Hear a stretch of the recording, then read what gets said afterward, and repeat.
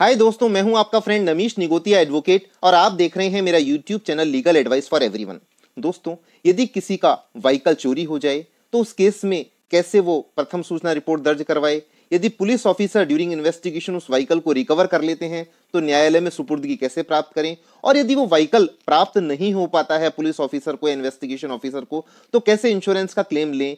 आज के इस वीडियो में हम ये सारे पॉइंट्स डिस्कस करेंगे। इससे पहले मैं निवेदन करूँ कि यदि आपने मेरा चैनल सब्सक्राइब नहीं किया है तो मेरा चैनल सब्सक्राइब कर लीजिए। दोस्तों, यदि किसी का व्हीकल चोरी हो जाता है तो क्या क्या स्टेप्स लेने चाहिए?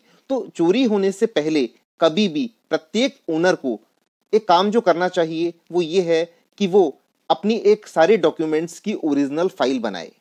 और ओरिजिनल फ़ाइल में क्या क्या होना चाहिए? उसका रजिस्ट्रेशन सर्टिफिकेट होना चाहिए इंश्योरेंस होना चाहिए ड्राइविंग लाइसेंस होना चाहिए पॉल्यूशन कंट्रोल सर्टिफिकेट होना चाहिए। यदि स्टेट में कोई और डॉक्यूमेंट प्रेस्क्राइब्ड है किसी स्टेट में तो वो होना चाहिए। यदि कॉमर्शियल व्हीकल है तो फिटनेस सर्टिफिकेट होना चाहिए परमिट होना चाहिए और गवर्नमेंट टैक्स पेड रिसिप्ट होनी चाहिए।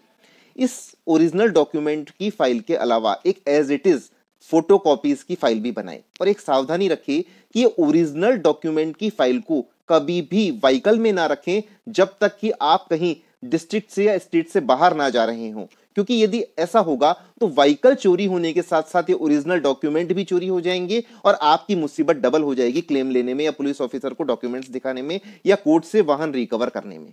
अब इसके बाद, जिस किसी का वाहन चोरी हो जाए तो जिस थाने में वाहन चोरी हुआ है, उस थाने के जुरिस्डिक्शन में, वहाँ पर थाने में जाकर के आपको एक प्रथम सूचना रिपोर्ट दर्ज करवानी है।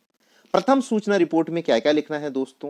प्रथम सूचना रिपोर्ट कैसे दर्ज करवाई जाती है? मैं इसका डिटेल वीडियो बना चुका हूँ। प्रथम सूचना रिपोर्ट में जो लिखना है वो ये है कि डेट ऑफ़ इंसिडेंट की कब ये घटना कारित हुई प्लेस ऑफ़ इंसिडेंट की ये कब घटना कारित हुई व्हीकल कौन सा था, उसका रजिस्टर्ड ओनर कौन था, और उसका registration number engine number chassis number क्या था। और इसके साथ में आप जो है जाँच अधिकारी हैं, उनको आप डीएल आरसी और इंश्योरेंस की एक फोटोकॉपी ज़रूर दीजिए और जाँच में सहयोग कीजिए। और ऐसी फ़र्स्ट इंफॉर्मेशन रिपोर्ट दर्ज करवाने के बाद फ़र्स्ट इंफॉर्मेशन रिपोर्ट की duly signed and sealed copy आप संबंधित थाने से प्राप्त कीजिए। इसके बाद जो नेक्स्ट स्टेप है, वो आपके इंश्योरेंस कंपनी को उस एफआईआर नंबर सहित एक छोटा सा मेल या इंटीमेशन देनी है। जो भी उनका इंश्योरेंस कंपनी का क्राइटेरिया है कि वो इंश्योर वो इंफॉर्मेशन कैसे प्राप्त करना चाहते हैं फ़िज़िकल लेटर से मेल से, उस तरह से आप इंश्योरेंस कंपनी को तुरंत within twenty four hours FIR दर्ज कराने के बाद एक इंफॉर्मेशन दीजिए कि मेरा ये व्हीकल था। इस नंबर पर आपके यहाँ पर इंश्योरेंस में रजिस्टर्ड है। मैंने इंश्योरेंस पॉलिसी ले रखी है जो कि वैलिड है और इस दिन चोरी हो गया। मैंने थाने में रिपोर्ट दर्ज करवा दी है। इसके बाद जो सेकंड स्टेप है, यदि पुलिस ऑफिसर इन्वेस्टिगेशन ऑफिसर यदि उस व्हीकल को रिकवर कर लेते हैं तो आपको कोर्ट में जाना है। कोर्ट में सुपुर्दगी की एप्लीकेशन लगानी है। कोर्ट में माननीय जज साहब के आदेश अनुसार आपको जो है सुपुर्दगी नामा शपथ पत्र पेश करना है और इसके अलावा सारे ओरिजिनल डॉक्यूमेंट्स जज साहब को दिखाने हैं तो आपको जज साहब आदेश करेंगे सुपुर्दगी का और सुपुर्दगी नामे पर आपको वो व्हीकल की कस्टडी दे देंगे। सुपुर्दगी नामे पे एप्लीकेशन कैसे लगाई जाती है, व्हीकल की कस्टडी कैसे ली जाती है, इसका एक डिटेल वीडियो मैंने बनाया है, जो कि मैं डिस्क्रिप्शन बॉक्स में शेयर कर रहा हूँ। इसके बाद एक प्रश्न उठता है कि यदि वो व्हीकल रिकवर ना हो चोर कहीं और ले जाएँ और पुलिस ऑफिसर या इन्वेस्टिगेशन ऑफिसर उसको रिकवर ना कर पाए तो हम क्या करें? तो ऐसे में हमें एफआईआर और एफ़ की कॉपी इंश्योरेंस कंपनी को देनी होती है और इंश्योरेंस कंपनी के सामने एक क्लेम सबमिट करना होता है। तो अब एफ़ पुलिस इन्वेस्टिगेशन जब एफ़ लगा देते हैं तो उसके बाद हमें इंश्योरेंस कंपनी के पास जाकर के एक क्लेम फॉर्म भरना होता है। उस क्लेम फॉर्म में जो हमें डिटेल्स देनी होती है कि व्हीकल कब चोरी हुआ उसका इंश्योरेंस कब तक वैलिड था? क्या हमने उसकी एफआईआर दर्ज करवाई? उसके ओरिजिनल डॉक्यूमेंट्स कहाँ पर हैं? ये सारी डिटेल फॉर्म भर के आपको एक क्लेम फॉर्म इंश्योरेंस कंपनी के सामने रीजन बताना होता है कि थेफ्ट है, ये पूरी इंश्योर्ड है और साथ में इंश्योरेंस की कॉपी भी लगानी होती है और वो क्लेम भरना होता है।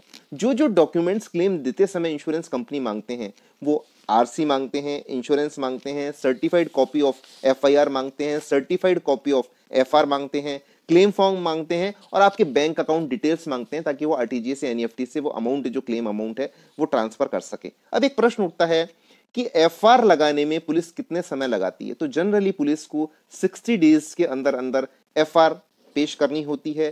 तो वो 60 डेज़ से पहले वो कोर्ट में, उसी थाने में जहाँ उसका जुरिस्डिक्शन है, उसी कोर्ट के जुरिस्डिक्शन में फाइनल रिपोर्ट पेश कर देती है। उसकी सर्टिफाइड कॉपी ऑप्टेन करने के बाद ही इंश्योरेंस कंपनी आपके क्लेम को प्रोसेस करके आपको आपके बैंक में क्लेम का अमाउंट देती है।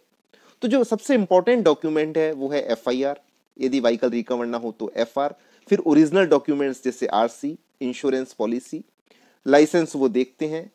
पॉल्यूशन सर्टिफिकेट यदि रिक्वायर्ड है किसी स्टेट में तो वो देखते हैं। इन सब डॉक्यूमेंट्स को इंश्योरेंस कंपनी लेने के बाद वो अपना एक प्रोसेस करती है। और यदि ये सारे इंफॉर्मेशन डॉक्यूमेंट्स सब कुछ सही है तो इंश्योरेंस कंपनी क्लेम दे देती है। हाँ ये वो ओरिजिनल कीज भी मांगते हैं इंश्योरेंस कंपनी वाले। लेकिन एक बार ज़रूर ध्यान रखनी, यदि इनमें से कोई भी डॉक्यूमेंट लैप्स है तो इंश्योरेंस कंपनी किसी न किसी आधार पर क्लेम रेपुडिएट भी कर सकती है। तो ऐसे में आपको उपभोक्ता न्यायालय की शरण लेनी पड़ेगी। इसलिए सारे डॉक्यूमेंट्स ओरिजिनल डॉक्यूमेंट्स और उसकी पूरी जीरोक्स कॉपी की दो अलग अलग फाइलें बना करके एक व्हीकल ओनर को रखनी चाहिए, ताकि यदि कोई ऐसी परिस्थिति हो जाए कि व्हीकल थेफ्ट में चोरी हो जाए तो उसका क्लेम वो आसानी से प्राप्त कर सके। आज का वीडियो इतना ही। Thank you friends